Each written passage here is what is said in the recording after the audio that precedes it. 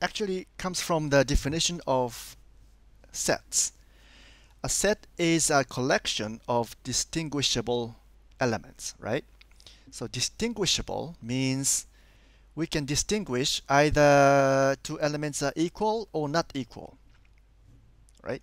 So that's part of the definition of the set. But sometimes we want to say two elements are related or similar or somehow equivalent in some sense, although they are not equal. Okay, here's an example. Let's say we have a function from a to x and we say a in a and b are related related if this holds okay so we have a function from a to x this element and this element they are different but we define that they are related if they are mapped to the same element in X by F. Okay.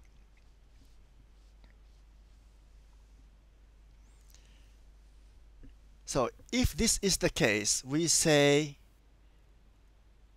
A and B are equivalent and write like this. This A and B are equivalent. Okay.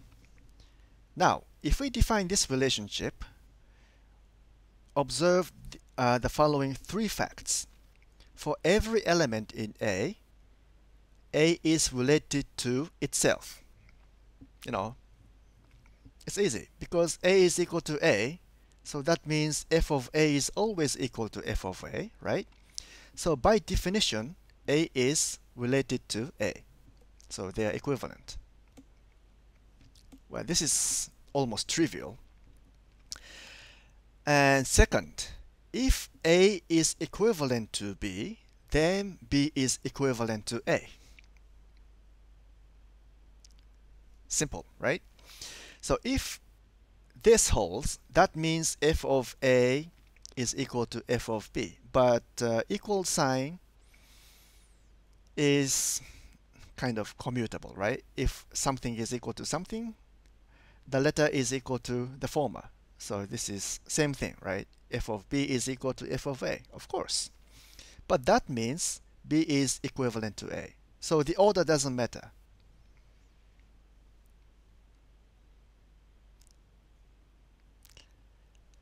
And 3. If a is equivalent to b and b is equivalent to c, then a is equivalent to c. Okay, so if A is equivalent to B, which is equivalent to C, that means A is equivalent to C. Okay, proving this is an exercise, but just follow uh, the same know, argument like this, similar argument to this, and it should be easy. So actually, these three properties are important for classifying uh, elements in general. So we define this uh, equivalence relationship like this.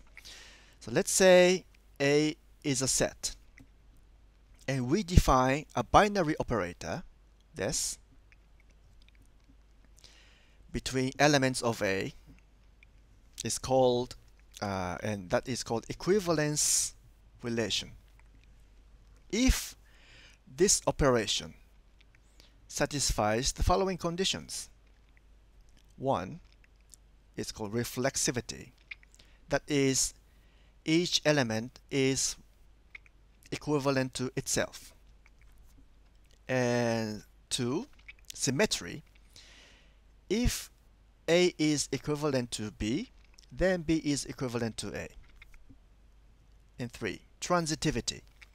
For ABC, if A is equivalent to B and B is equivalent to C, then A is equivalent to C. Okay. those three properties just like we explained in the previous example.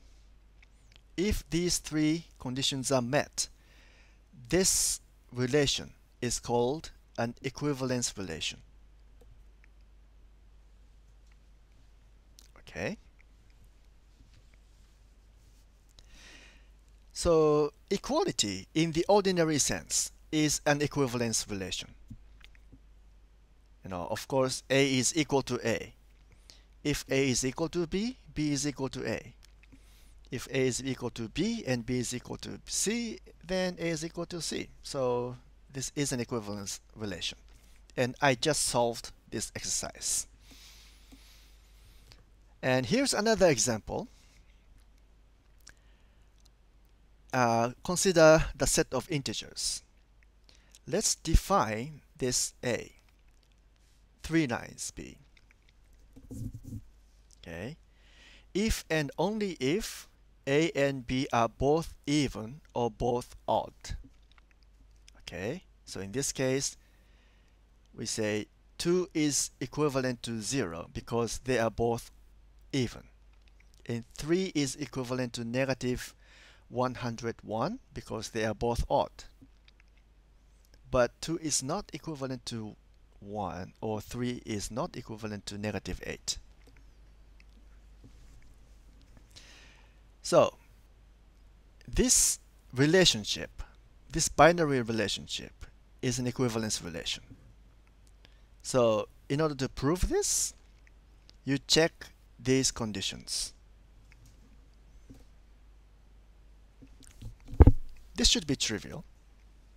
And this is, of course, is trivial, right? And what about this? Okay, so this is an equivalence relationship. By the way, this tilde is just a just one way to write equivalence relationship. You know, this is not like a proper noun. Okay. So just like we call any element of a set like A or B or X or whatever, this may be like tilde or this uh, triple line, maybe equal, uh, maybe something else. You know, like like this, or any, any sign, you know, can be defined as equivalence relationship. Like this, or whatever.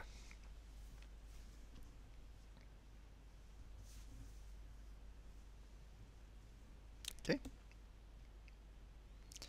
This is actually the basics, uh, basis of classification of anything. Okay, so what do we mean by similar, for example? Okay, here there are many exercises, and here's one example. Let's define the relation tilde on z, z uh, integers such that for a and b, a is equivalent to b if and only if a times b is not equal to z, uh, 0. This relation is symmetric and transitive, but not reflexive.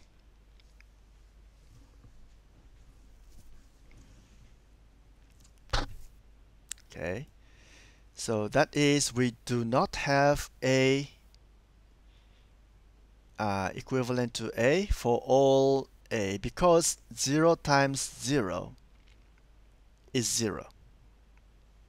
So 0 is not equivalent to 0 itself.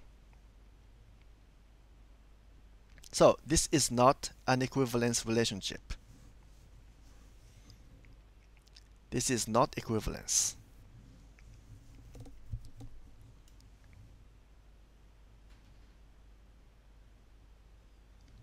Okay, and similarly, uh, inequality in the ordinary sense, in real numbers, is not an equivalence relation. So what's wrong with this?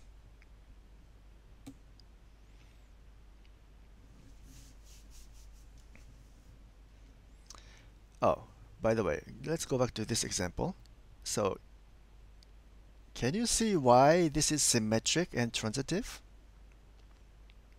So symmetric means if A is similar to B, then B is similar to A, right? So this is, uh, by definition, this means A times B is not equal to 0. So this means B times A is not equal to 0. So of course, if this is the case, this should be the case. And transitive,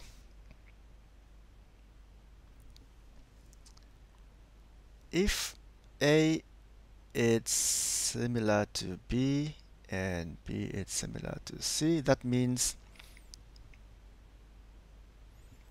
A times B is not 0 and B times C is not 0.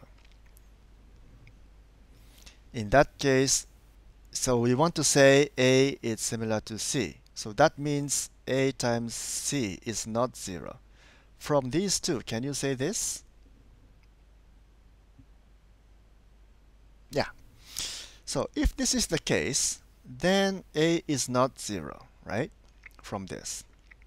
From this, you can say C is not 0. So if they are not both 0, I mean both of them are not 0, so AC is not 0. So this is the case.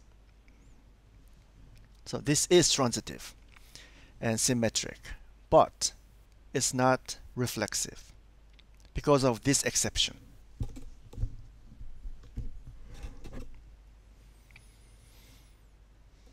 Okay.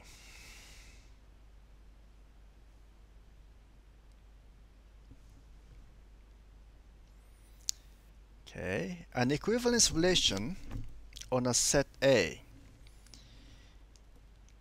can be used to classify the elements of A into disjoint and exhaustive subsets. Okay, uh, do you remember the meaning of disjoint?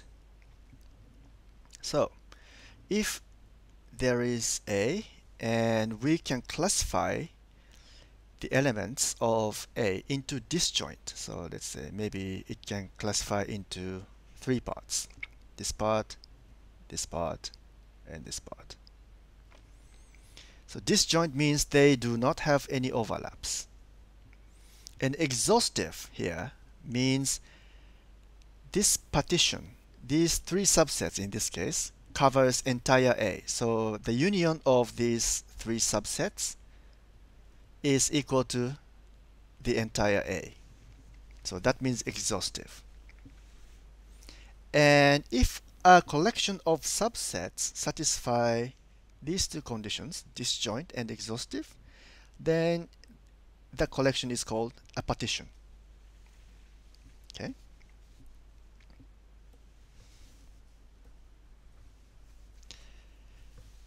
And here's a definition. Let S be a non-empty set with an equivalence relation tilde defined. So let A be an element of S. The subset A, SA of S is given by this. Okay, so this subset means all elements of S such that this element, each element is equivalent to A. So A is a particular element. Okay.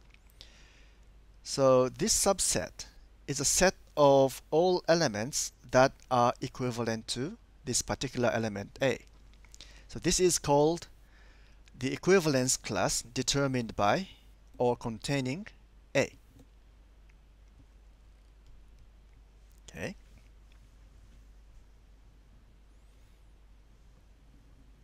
Of course, because of this reflexivity